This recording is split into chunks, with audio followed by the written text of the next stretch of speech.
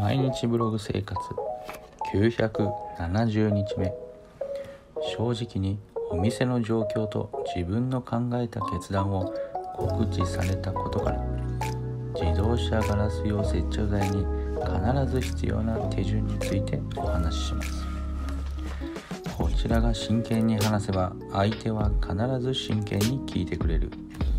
久留米でボンドを専門に販売している末新こと末安真二です。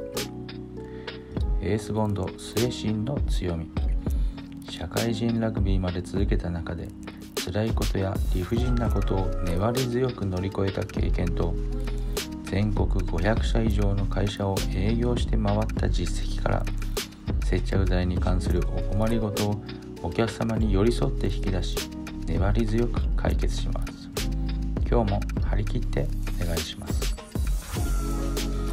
今日のお題は安心した強度を出すためには絶対に省いてはいけない接着剤の手順。正直に告知して話題になったたい焼き屋さんがある。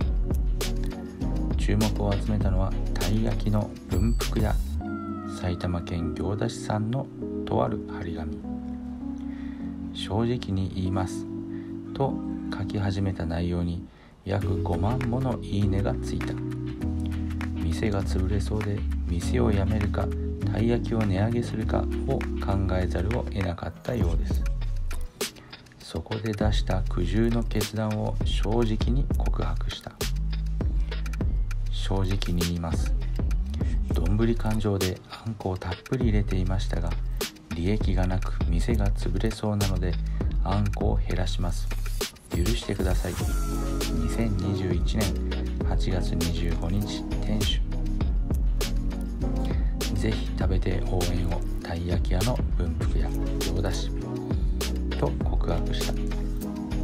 Twitter ではなんて正直な潔いなこういうお店好きなどなど多くのコメントをもらって話題になった。実際にあんこの減量後もあんこはしっかりとした量で入っていた。一体今までどれだけの量を入れていたのかも伺える。やはり正直が一番。正直者はバカを上から見る。正直に告白すれば素直に聞いてくれてたくさんのお客様が応援してくれます。に今までの姿を見ている人はさらに協力をしてくれるでしょう人は情報よりストーリーで考えます。それが進化したのがクラウドファンディングでしょう。商品開発への熱い思いやストーリーがあれば全世界の皆さんが応援してくれる。エースボンドは接着剤も正直に伝えます。自動車ガラス用接着剤もあえて手間をかけるように指導します。ガラスとボディをくっつけるときにガラス側に対して1下地処理をする。ペーパーなどを当てて研磨する。2プライマー下処理剤を塗る。3接着剤を塗布する。4ガラスをボディ。ボディ側も12の処理を行う。に取り付ける。といった手順だ。しかし世の中には下地処理不要とかプライマー下塗り剤不要とか歌った商品がある。一見手間が省けて良さそうだがエースボンドはおすすめしない。あえて12の手順を踏んでガラスを取り付けてもらう。一つも外してはダメだと伝えます。それはなぜか。それは強度のためです。